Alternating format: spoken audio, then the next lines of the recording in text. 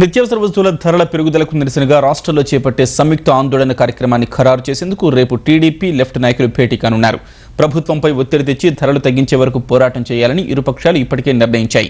ఈ నెల పదహారు నుంచి ఇరవై మూడు వరకు సాగే ఆందోళన కార్యక్రమాలపై రేపు స్పష్టమైన ప్రకటన చేస్తామని టీడీపీ సీనియర్ నేత దేవేంద్ర గౌడ్ చెప్పారు. అనేక చట్టాలు ఉన్నాయి చేతిలో అధికారం ఉంది.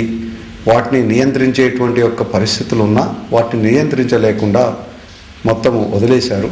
కనుక దీనిపైన ప్రభుత్వంపై ఒత్తిడి తీసుకురావడానికే వామపక్షాలతో కలుపుకొని రాష్ట్రంలో అదేవిధంగా కేంద్రంలో కూడా మేము ఇప్పటికే సిపిఐ సిపిఎంతో కూడా మాట్లాడాం. ఈ కార్యాచరణ ప్రణాళిక రేపు మేము ప్రకటన చేస్తాం.